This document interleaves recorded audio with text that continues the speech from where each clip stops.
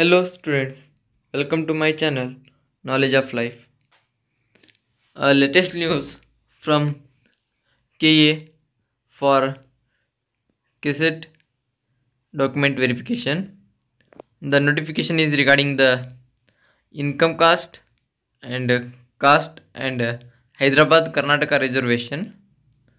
Uh, the notification is tells about the process during online verification the caste and income certificate and the Hyderabad Karnataka reservation the by telling the RD numbers entered by candidate during CET 2022 online applications the candidates whose RD number do not tally will be on hosted on the KEA website and the provision will be given to the candidates to correct their ID number and for the candidates it is advised to check the KEA website frequently for the updates or visit our channel.